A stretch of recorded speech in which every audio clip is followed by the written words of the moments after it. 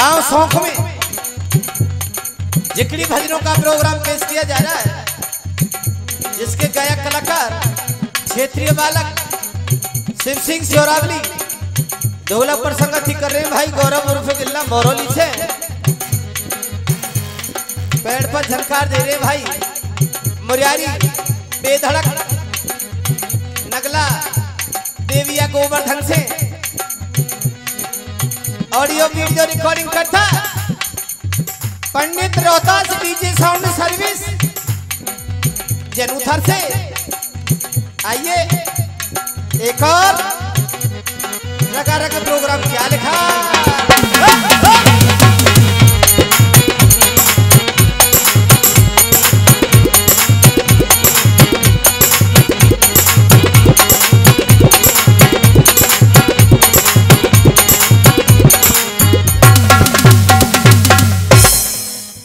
बड़ा ही आनंद आ रहा है। और आइए, कभी दो लाइनों में लिख रहा है, कैसे भैया गौरव, क्या बता दिया?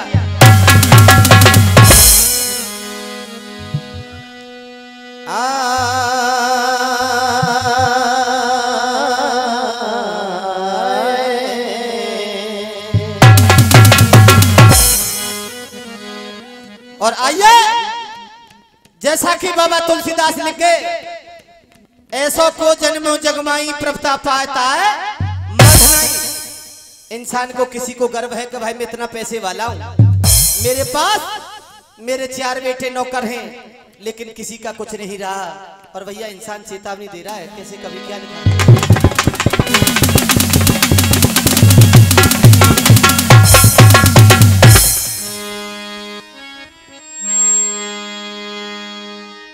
जो मैं सो जानती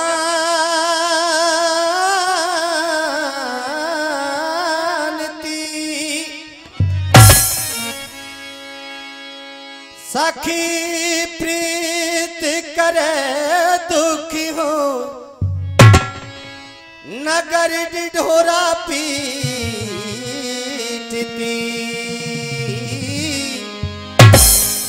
सखी प्रीति न करियो को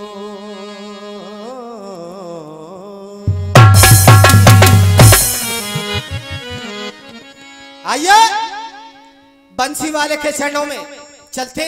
जैसा कि प्रोग्राम चल रहा है राधे मंडल नवयुग मंडल सौंक की तरफ़ से। और भैया, आइए, फिर से राधा रानी के चरणों में चंद लाइने।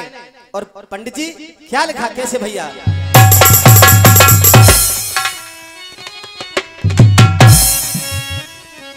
और जैसा कि हमारे गुरु जी बैठे द्वारका प्रसाद जी, भाई हम तो इनके चेला रहे हैं। लेकिन आइए बम्बई वालों ने तर्ज निकाली। कैसे भैया गौरव क्या लिखा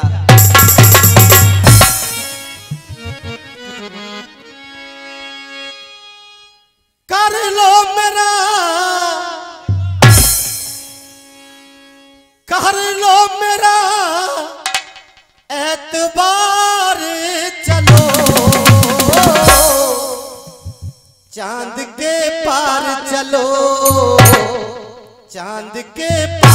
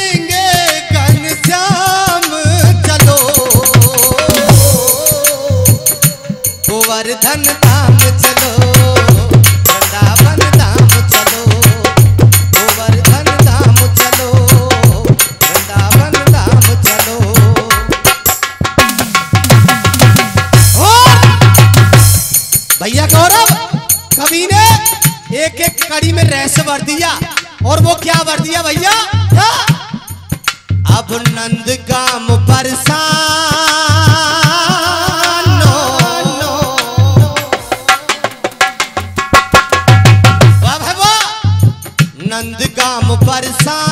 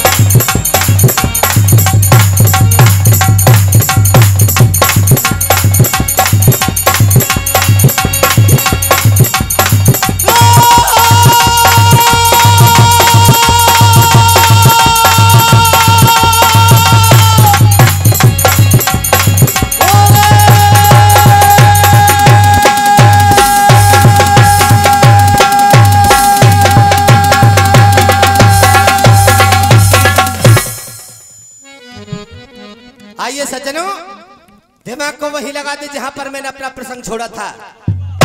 आज धर्म, दुर्योधन ने सारी बात को बता दिया करण के लिए कि भैया करण, मैं जिसके भैसे पहरा दे रहा हूँ, वो है राजा बासिक का लड़का फूल कुमार जो कि रात के 12 बजे भानुवती से मिलने के लिए आता है। मैं उससे लड़ने की कोशिश करता हूँ, लेकिन ताकत में ज़्यादा पड़ता है। आज करण ने कहा "ए दुर्योधन। मैंने तुम्हारा नमक खाया है। सुन मेरी बात। बात तू सुन लीजो मेरी। अरे शर्म सब ढक दंगो करूँ तेरी पहरेदारी है। और फूल कुमर लूँ देख। बने कितनो बंसारी है। कैसी बातें करते हो भैया।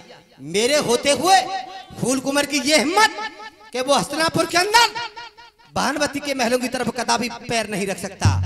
और सुनिए, आज से पहरे का काम तुम्हारा नहीं, पहरा दूँगा मैं। और जैसे ही रात के बारह बजते हैं, वही फूल कुमार भानवती से मिलने के लिए भानवती के महलों की तरफ़ चल देता है। और भैया, आज दुर्योधन समझ रहा है सारी बात को, लेकिन फूल कुमार को यह नहीं पता कि आज पहरा दुर्योधन नहीं, पैरो दे रहे और जैसे ही हस्तिनापुर के अंदर प्रवेश करता है तो करण जवाब दे रहा है जाने वाले, रुक! इतनी बात को सुना तो आज फूल कुमार जवाब दे रहा है, बुआ, आज इतना बलशाली हो गया दुर्योधन जो मुझे जवाब दे रहा है, लेकिन उसे ये नहीं पता कि आज पहरा दुर्योधन नहीं, पैरो दे रहे हो और करण जवाब दे रहे कैसे दे रहे गौरव बेटी? क्या लिखा?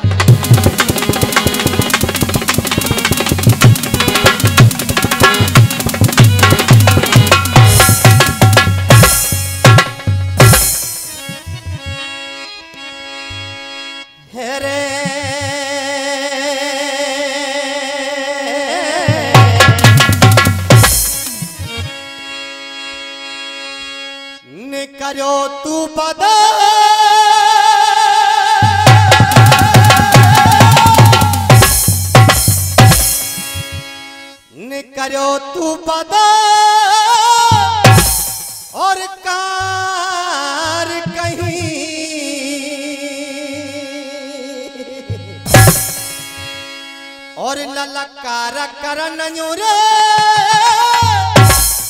और बिना और बिना खोपकी। और कैसे जान।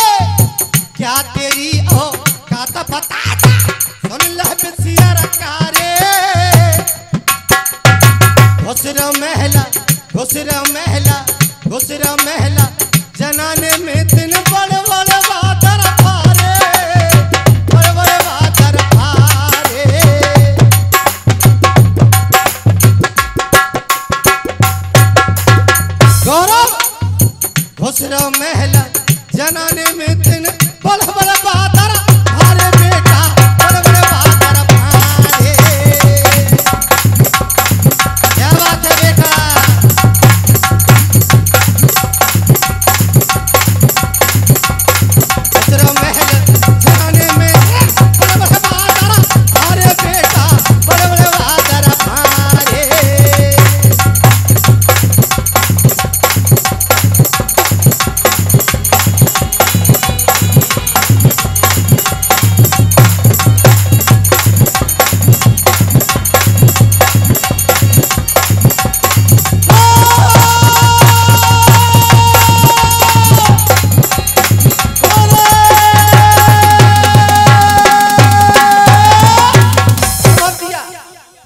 ने कहा "ए, रुक जाने वाला।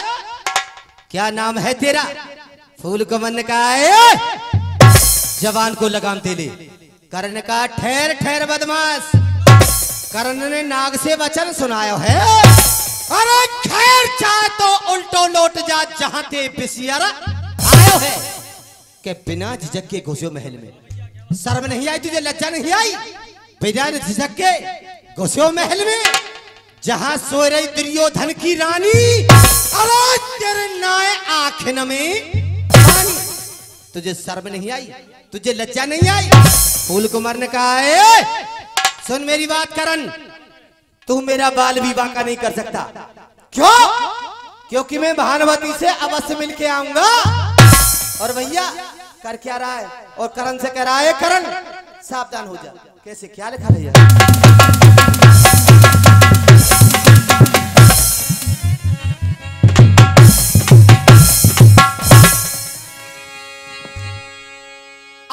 जब और फूले कुमर फूकारो हरियन करण हरियन करण बचन हरियन करण।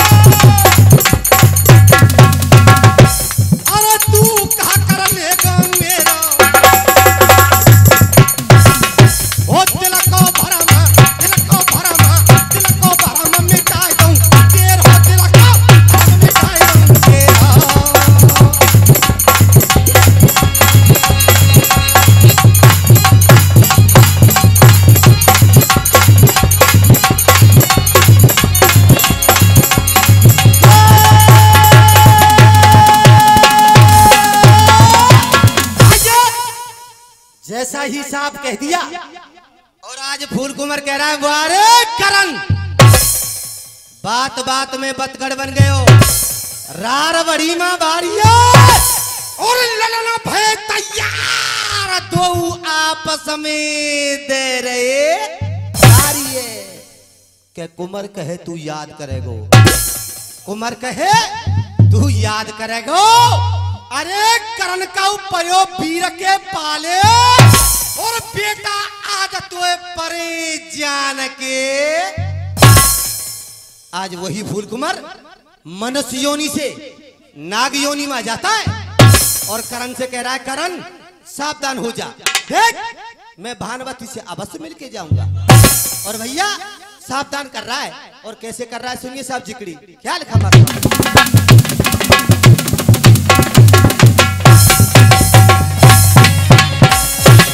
क्या बात है बेटा? हेरे रूप कियो बिकराने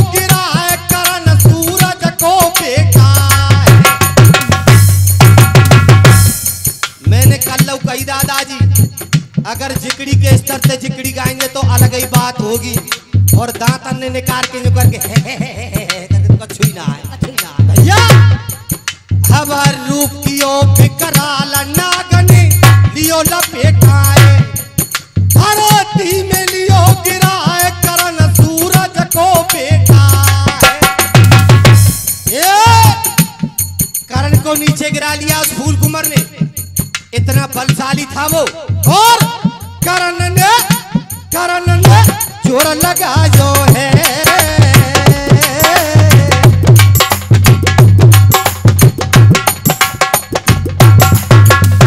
निशानो पक्को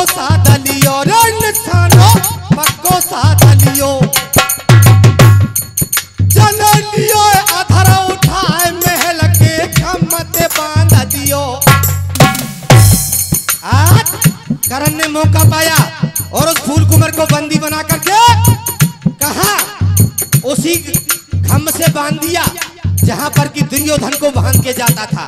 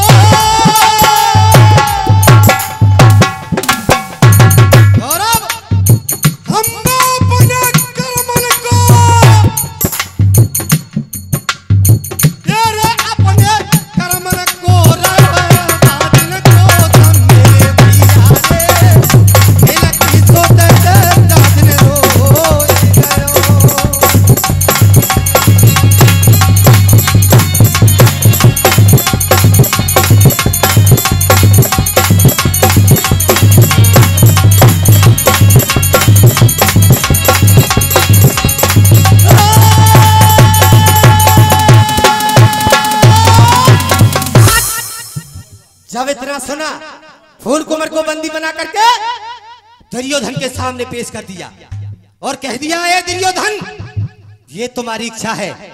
आपसे खत्म करो या जीवित छोड़ दो।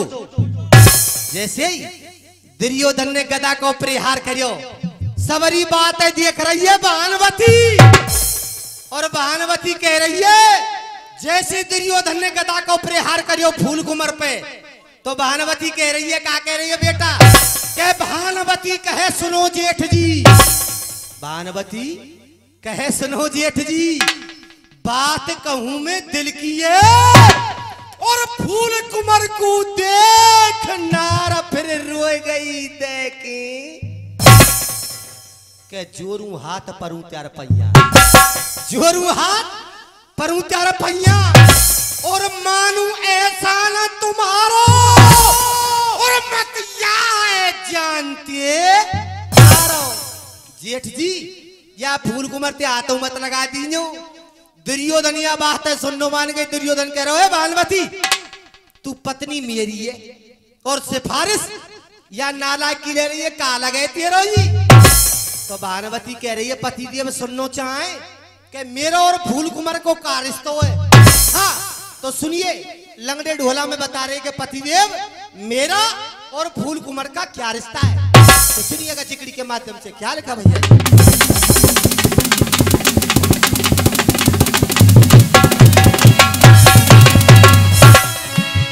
कैसे भैया?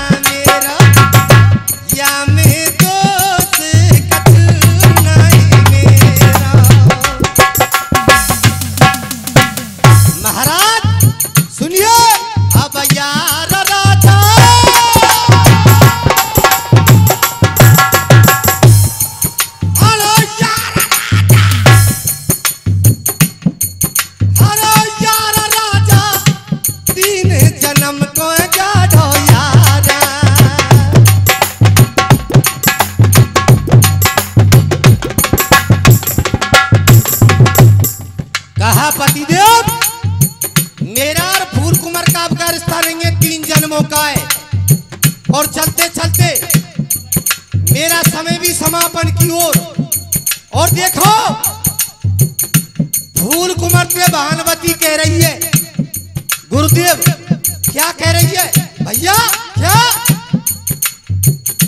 प्यार हमारा। ए, प्यार हमारा।